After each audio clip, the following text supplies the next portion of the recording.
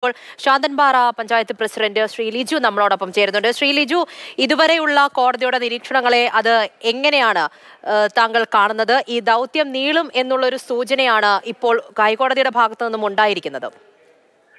തീർച്ചയായിട്ടും. അത് വളരെ ഹൈക്കോടതിയുടെ ഭാഗത്തു നിന്നുണ്ടാകുന്നത് ബഹുമാനപ്പെട്ട കോടതിയുടെ ഭാഗത്ത് നിന്നുകൊണ്ട് തികച്ചും ദൗർഭാഗ്യകരമാണ് അത്തരം വിഷയങ്ങളെ നോക്കിക്കാണുന്നത്. ഞങ്ങൾ പറയുന്നു ഞങ്ങൾക്ക് അരിക്കൊമ്പനോട് പ്രത്യേകമായ വിരോധമോ അല്ലെങ്കിൽ ഏതെങ്കിലും ആനയോട് വിരോധമോ ഉള്ളതുകൊണ്ടല്ല.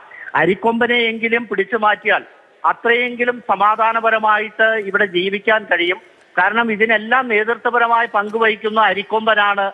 അപ്പോൾ അരിക്കൊമ്പനെ പിടിച്ചു മാറ്റിയാൽ മറ്റ് ആനകളെല്ലാം സൈലന്റ് ആവാനുള്ള സാധ്യതകളുണ്ട്. എന്നുള്ള ഒരു പ്രതീക്ഷയിലാണ് ഞങ്ങൾ പറയുന്നത് അരിക്കൊമ്പനെ പിടിച്ചു മാറ്റണം എന്നുള്ളത്.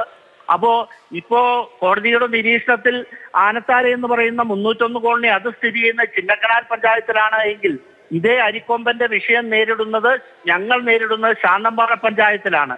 ശാന്തമ്പാറ പഞ്ചായത്തിലെ തോണ്ടിമല ഉൾപ്പെടെയുള്ള തോണ്ടിമല ഉൾപ്പെടെയുള്ള ആനയിറങ്ങൽ ശങ്കരപാണ്ടിവട്ട് അടക്കമുള്ള മൂലത്തറ അടക്കമുള്ള പ്രദേശങ്ങളിലാണ് ഞങ്ങൾ ഇതിന്റെ ഏറ്റവും വലിയ ഭീകരമായ ഒരു ദുരിതം അനുഭവിക്കുന്നത്.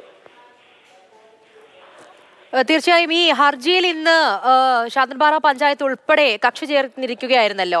ഇതിപ്പോൾ ഒരു തീരുമാനം അത് നീളുകയാണ് എങ്കിൽ ഏത് തരത്തിൽ മുന്നോട്ട് പോകാനാണ് നിയമപരമായി തന്നെ ഏത് വിധത്തിൽ മുന്നോട്ട് പോകാനാണ് തീരുമാനം? ആയിട്ടും കോടതിയിൽ ഞങ്ങൾ കക്ഷി ചേർന്നിട്ടുണ്ട്. കുട്ടികൾക്ക് ജീവിക്കാൻ കഴിയില്ല. കർഷകന്റെ കൃഷിഭൂമി നശിപ്പിക്കുന്നു. തൊഴിലാളികളായ പാവപ്പെട്ടവരെ കൊല്ലുന്നു. അതോടൊപ്പം തന്നെ വെറും തോട്ടത്തൊഴിലാളികളുടെ നൂറുകണക്കിന് വീടുകളാണ്. അത് വലിയ ബലവത്തായ വീടുകളൊന്നുമല്ല. വളരെ സാധാരണക്കാരായ മനുഷ്യരുടെ വീടുകളാണ് ഈ ആന ഇടിച്ചു തകർത്തുകൊണ്ടിരിക്കുന്നത്.